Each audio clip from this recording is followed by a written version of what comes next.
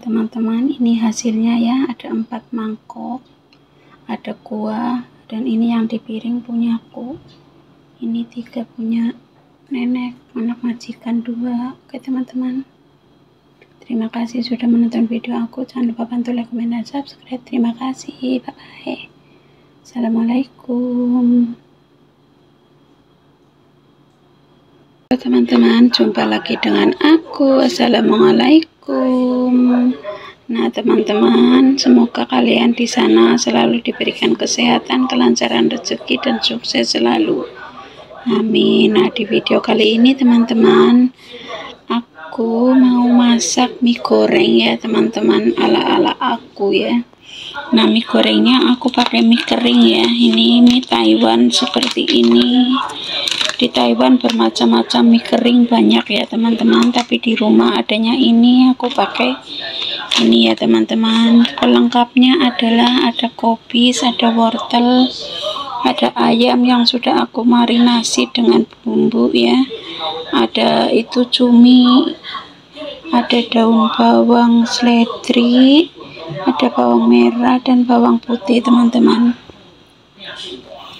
Oke teman-teman mari kita masak. Aku mau rebus dulu minyak ya. Nah, ini udah aku sediain air ya. Nah mie goreng nanti ditemani kuah ya teman-teman. Dan ini ada itu daging kambing ya teman-teman. Ini yang udah dipotong tipis-tipis seperti ini nanti dimasak kuah dan ini aku kasih jahe. Nanti bumbunya penyedap rasa ya teman-teman. Udah gitu aja sama sedikit garam oke? Okay? aku masak untuk empat orang. Ini ini dipotong kayak gini ya biar nggak terlalu panjang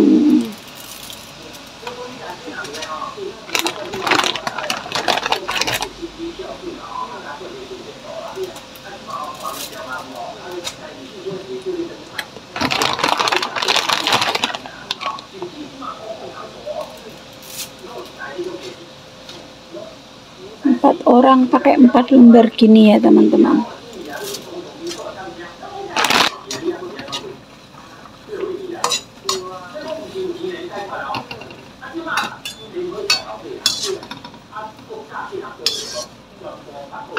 Airnya kurang teman-teman. Kita tambahin ya. Nah itu air kuahnya sudah mendidih. Aku mau tambahin ini ya teman-teman. Kaldu bubuk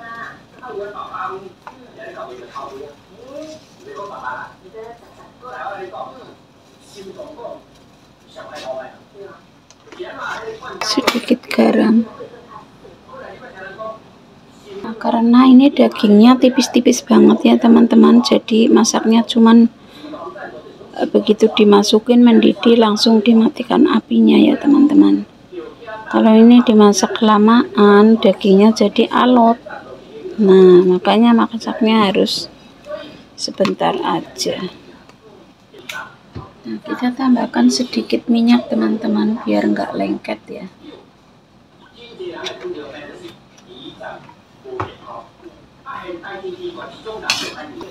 Karena nenekku udah nggak punya gigi jadi masak minyak agak lembekan ya teman-teman. Kalau yang punya gigi sih asal mateng gitu jadi kenyal-kenyal minyak enak ya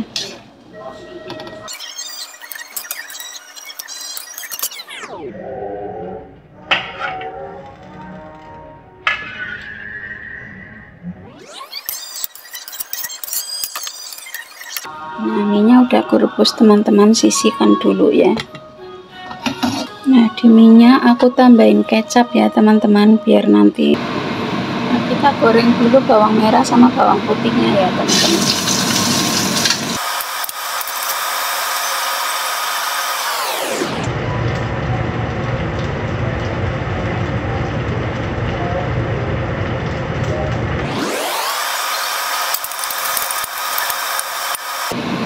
batang daun bawang bagian putihnya juga masukkan ya teman-teman. Masukkan wortelnya.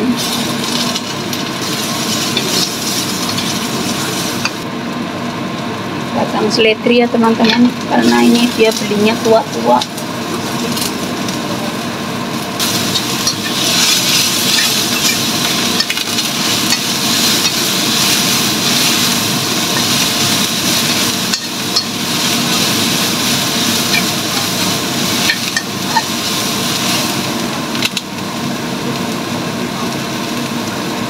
masukkan sayur kolnya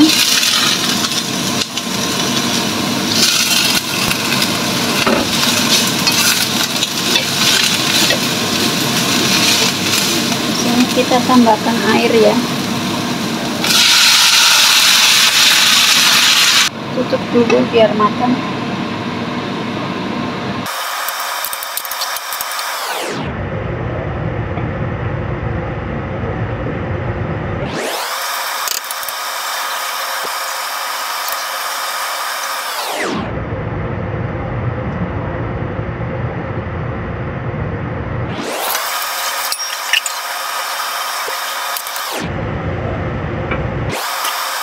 ayam yang udah dimarinasi ya teman-teman.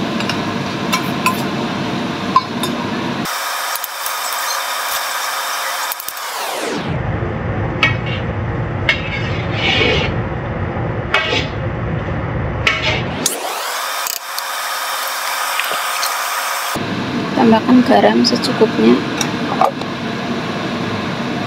Penyebab rasa kaldu bubuk teman-teman secukupnya ya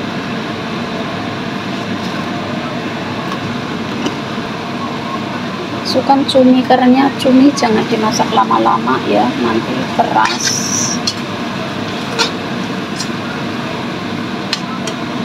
Sekalian masukkan mie nya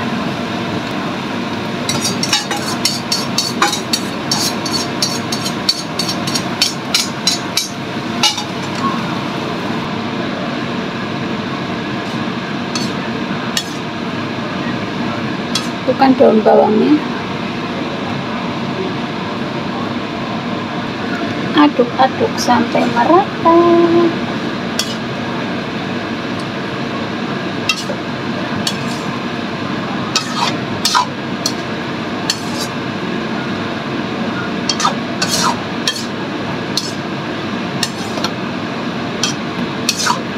Seharusnya ditambahin telur ya teman-teman.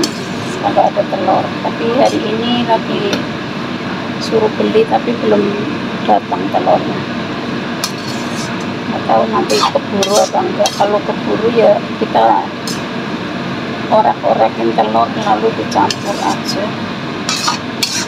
Kalau enggak ya udah aja. Sudah ada ayam ada cumi.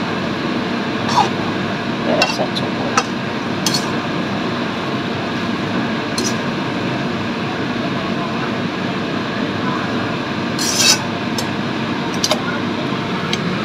nah penampakannya seperti ini. Karena orang sini kan nggak suka terlalu itu ya medok. Jadi kecapnya aku cuma pakai dikit aja. Jangan jangan lupa diicipin rasa.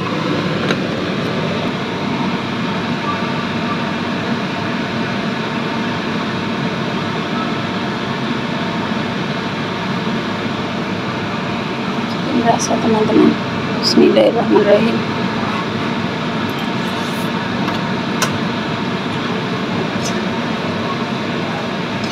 hmm.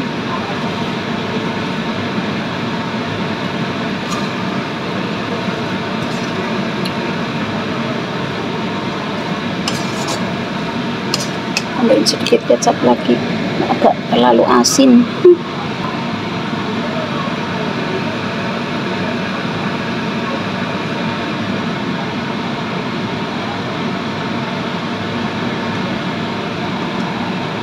しなん。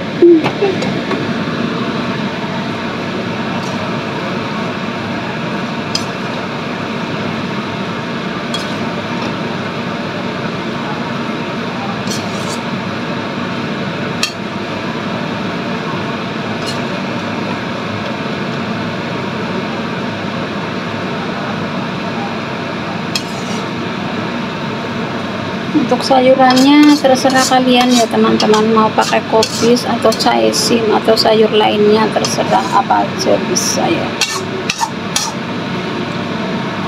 Karena di sini sayuran udah habis semua tinggal kopis juga cuman sedikit jadi ya udah ini aja. Seadanya yang ada di rumah teman-teman nah segini untuk empat orang ya teman-teman. Aku nenek anak nenek ada dua di sini. Karena ini pakai daging ayam jadi sekalian aku bisa makan ya. Jadi nggak harus masak dua kali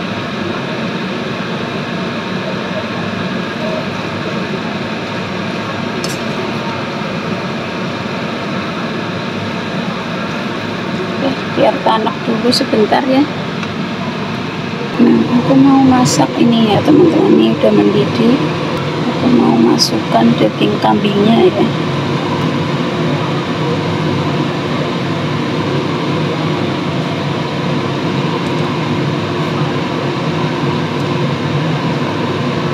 Daging kambing tipis-tipis banget. Jadi kalau nanti airnya sudah mendidih langsung matikan jangan kelamaan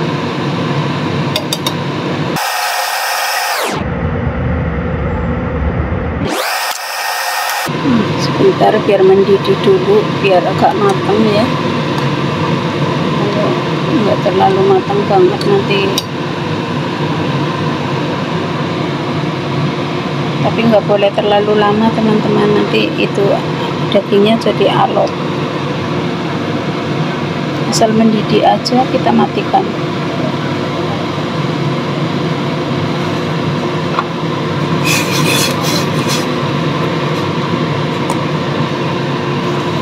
begini ya teman-teman. Jadi dagingnya masih gitu. Udah mendidih ya kita matikan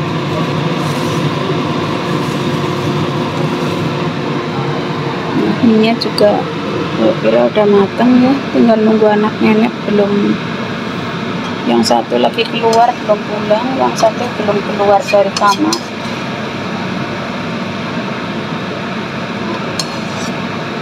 Oke teman-teman, saya kira ini sudah cukup ya, udah matang. Semoga bermanfaat. Sampai jumpa di video selanjutnya.